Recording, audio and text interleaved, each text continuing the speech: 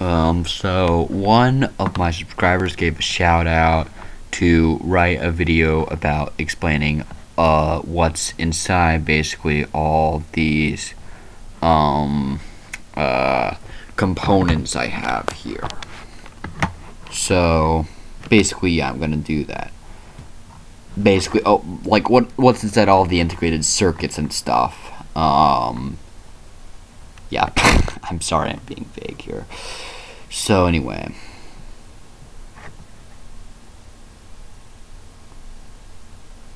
Eh? That's not very...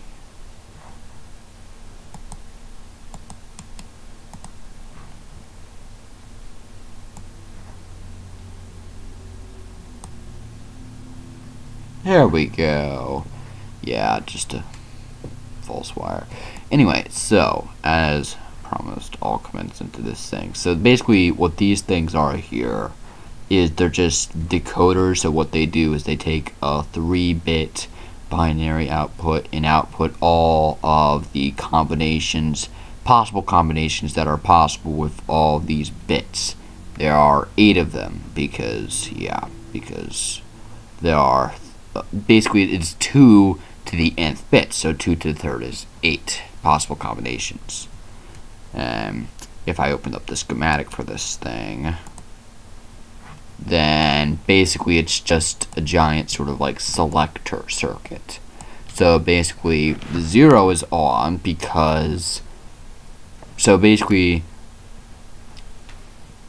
you have to like calculate what is on but you have to cal also calculate what is off. So base for instance this zero is on and it will is hardwired to be on but it's only on really this was broken. I could have just like like put this in there. Don't please just don't like I know I was a bit of an idiot here but this is just extra redundancy anyway. So but it the zero is only on if none of the other inputs are on so if I put an input on then the zero will be off because of this NOT gate right here it has ha, ha, this NOT gate has to be on for this light to be off. For this light to be on. And then you just basically say what's on and what's off for each and every single output. So basically, for instance, like if the one's on and all and these two are off, then the one will be on. But if this one's on and and the one is still on, then sure the one's on, but then this one is also on. So it so you have to have a AND gate for every possible output except for the last one because it's just it ha all three of them have to be on. But there's no possible way for like it's sort of like the zero here. There's sort of like it's just on by default except if you, if any of these other turns on. These, there's no possible off output except because all of them just have to be on. So, yeah, I hope you understood some of that. Yeah, in terms of the logic gates that are in there, basically you just have to tell yourself, okay, what has to be on, what has to be off. So basically what has to be on, you have to put it through an AND gate. And what has to be off you have to put through an OR gate and an OR inverter and then you compare. And so basically if the stuff that's on is on and the stuff that's off is off then the light lights up. Okay so now for the registers okay so here it is a schematic of one of my registers now I took way too long in the first try of this explaining SR nor SR NOR latches, so I'll just be very quick about this. Uh, so basically, if set is on, then Q will be on. If reset is on, then Q will be off. This is a write enable. So basically, it's just an AND gate connected to the input telling this um, uh, circuit to. So basically, it will only load data if it pulses. you see before they were red because they were not connected because uh, it always starts out that way but once I pulsed this then they turn white which signifies off right and so basically how you build one of these is those are special because those are master slave with a write enable in them. So but basically master slave just basically being two mechanisms attached to one another. Yeah. So if you just did that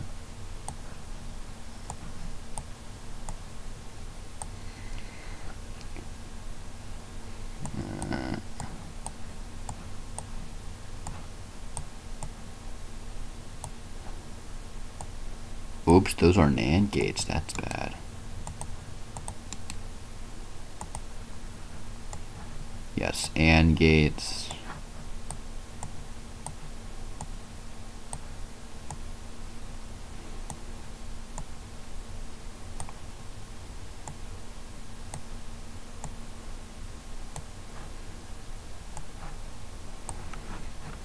So, anyway. So yeah, this will be a simple SR NOR latch, not a master slave one, but it to have a write enable, not a read enable. Um, so basically, um, so if I turn this on, unlike the master slave, you don't have to pulse it. If it's just on, then it will write. Hopefully, yeah. Yeah, there we go, it'll write.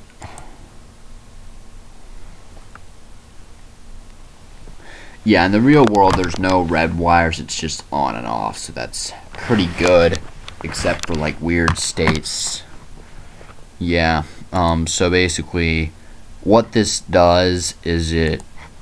So basically, if this input is on, then this AND gate will be on, turning this NOR gate off, and so this NOR gate will be on because this NOR gate is off unless I turn both of them on, but so it will be zero.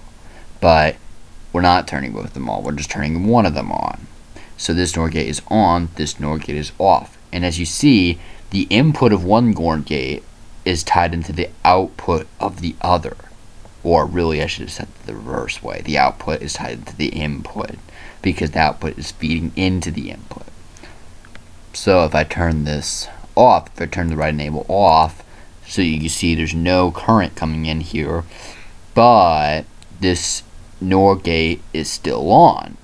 And this NOR and this NOR gate is off because if this one's on this one was turned on first. So now it's outputting into this NOR gate to turn it off. So it's a latch until it's reset that's what SR stands for, by the way, set reset. So if I switch the reset switch, the reset switch, then it will, um, then the reverse will happen basically. Then I guess this is not Q, so basically it will be a zero. So if I set it, then it's one. If I reset it, then it's zero.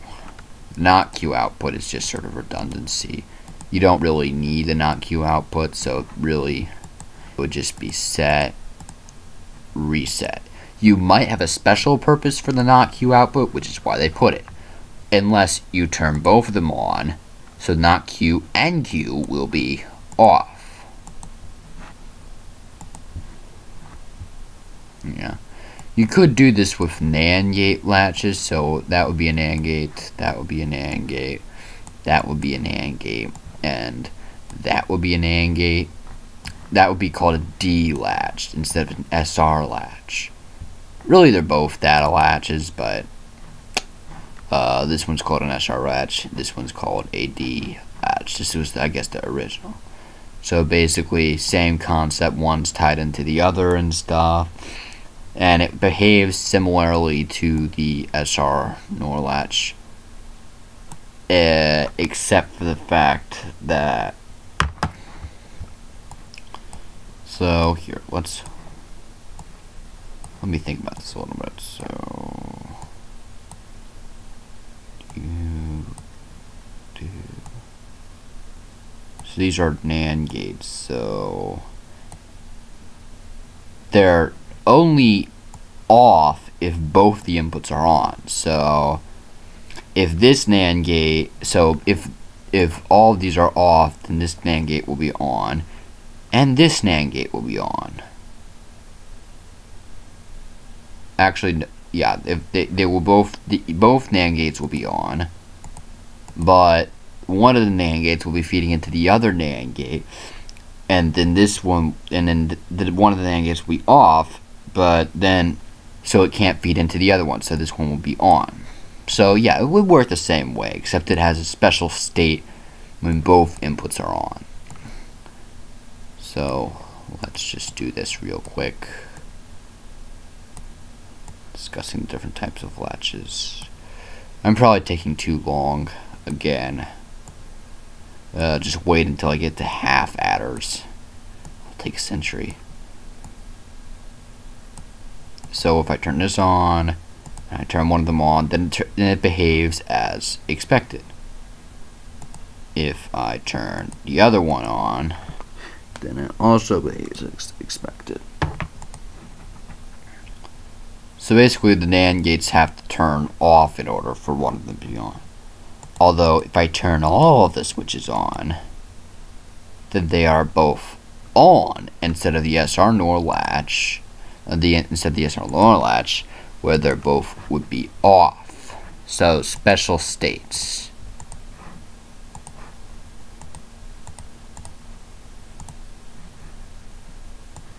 So in essence, none of the either one one of these has to be on.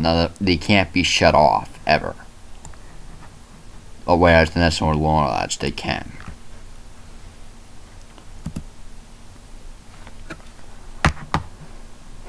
So yeah. Anyway, back to the um, register. So basically what I'm doing here is I'm just inverting reset so if so instead of set and reset there's just one data wire. So and it toggles set and reset so I'm not using the special state where both are on or both are off.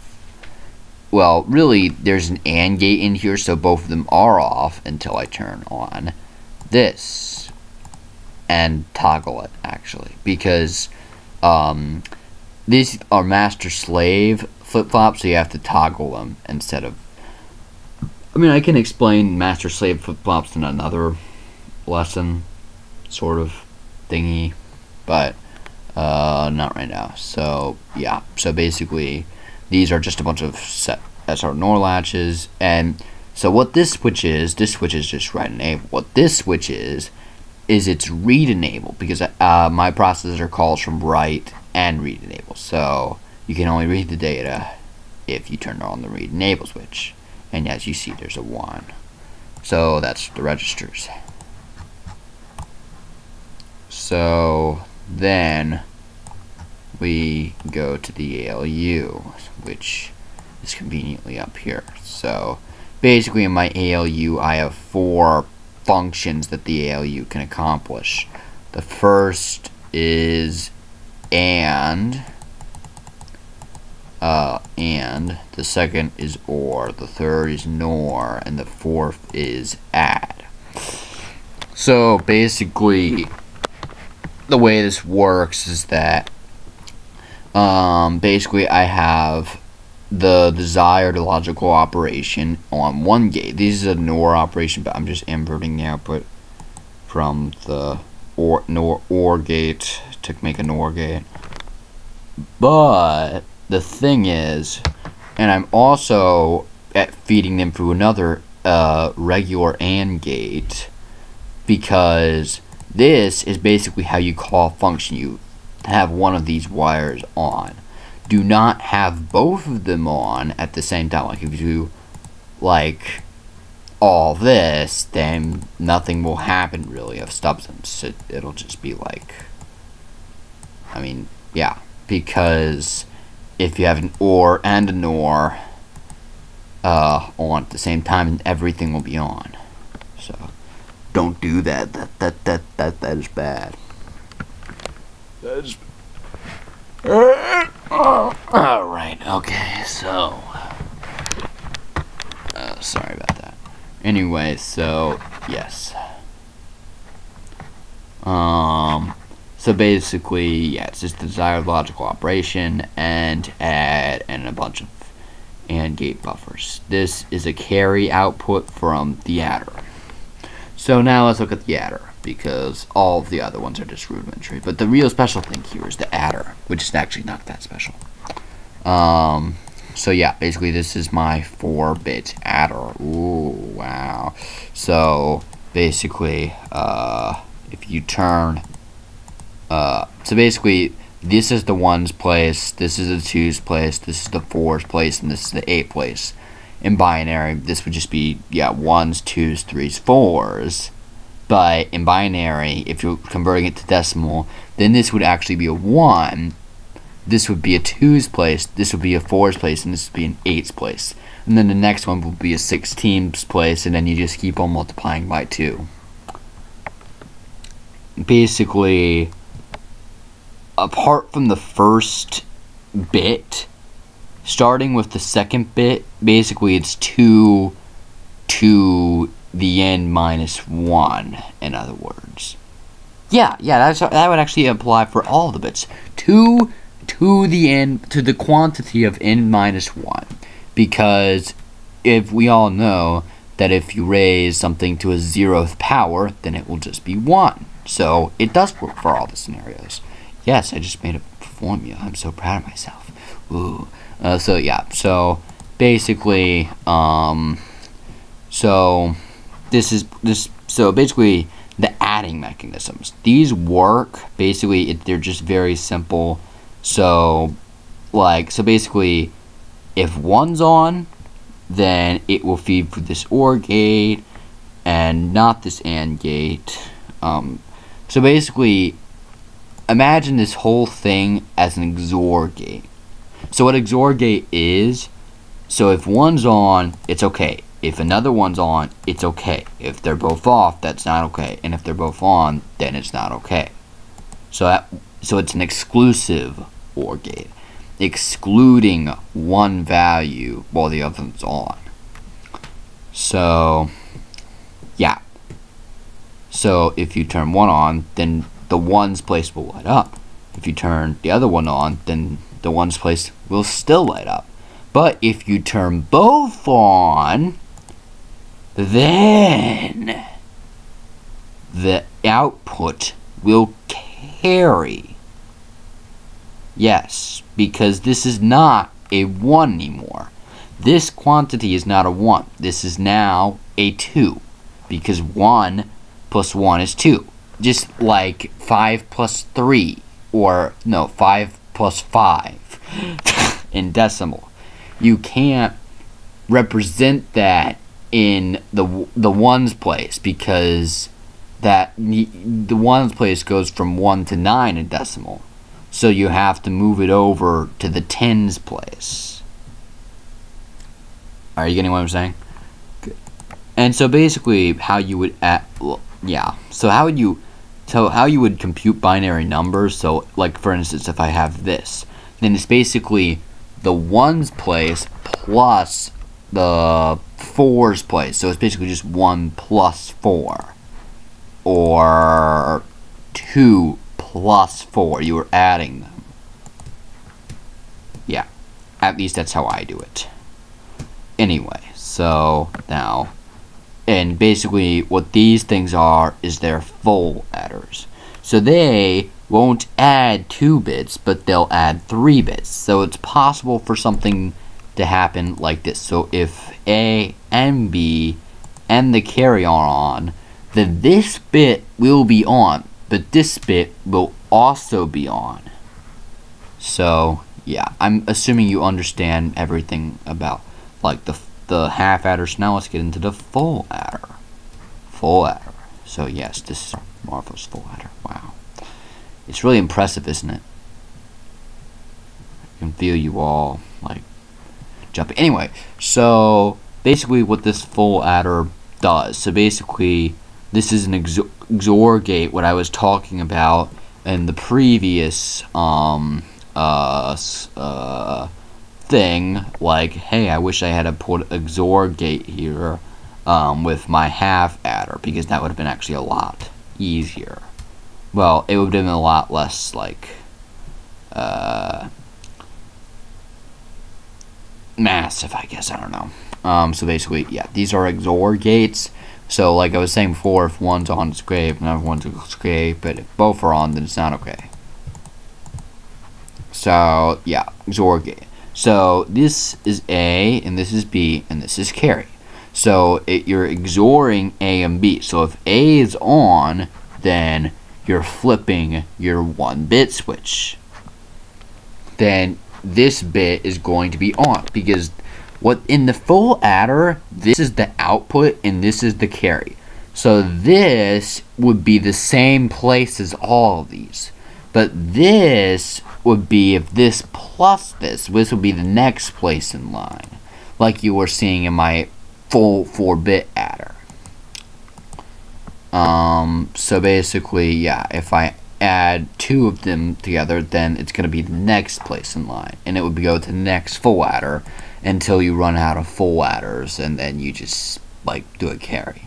Technically, you don't run out of full adders, but just depending on the many, and how many bits your computer is. 4 bits is a good uh, bit size for homebrew computers because, like, really, I mean, don't make a 64-bit computer kind of um, like logically or something that you're wasting your time. No, don't do it, please. Anyway, so yeah, four bits, four bits, four bits, people. Um, so yeah, uh, so yeah, so this is XORing A and B, and then the output of this one bit is built, so basically it's XORing A and B, and then it's taking the output of that, and it's XORing that output in C. So in essence, it's an XOR gate for A, B, and C. So if one of them's actually that's a lie, that's a lie. Because if this is off, but this is on, then uh, it will still be on. So you had to separate them like this so that this could be off so that this could be on for all three of them to be on. Because there's a certain truth table to this, but basically, like, it's just like a logical operation that takes in three inputs and outputs two. So, if this is on one, one, one, two, and then you can go for the entire truth table until you get the three, which both of the outputs are on. So basically that's the one bit switch. And then the second switch here, so basically it's saying, okay, so if either A or and B are on, or A and carry are on, or B and carry are on, then flip the switch flip this switch. So yeah, so basically we're accomplishing this through an AND gate comparing A or B or a for a XOR B feeding through another AND gate and carry. So basically if A so the XOR gate is on now and carry. But if we turn this off, but if we turn this on, then the XOR gate is off. But this AND gate is now on. So this is on, and this uh, and this XOR gate off is dependent upon this being on for the carry value. So that's all three values. So yeah, that's a detailed um, uh, expression of this. Yeah, guys, please let me know how my explaining is doing because I mean if I if there's any way I can make myself more clear. Clarity is the name of the game here when you're teaching. So, yeah, make sure uh, or like just tell me if, I, if there's a way I can be more clear. So, um, yeah. Alright, so anyway, that is uh, it. I hope you'll tune in for more videos. I I'm sorry I haven't been a bit more regular about that. I will definitely probably ramp up the videos in the next like um I don't know the next like the next week or so. But then school will be starting and I won't have much of a chance to make any more videos. So I'll upload a lot of videos before summer ends. How about that? So you have a lot of content for me. Okay. Alright, so yeah, peace out guys.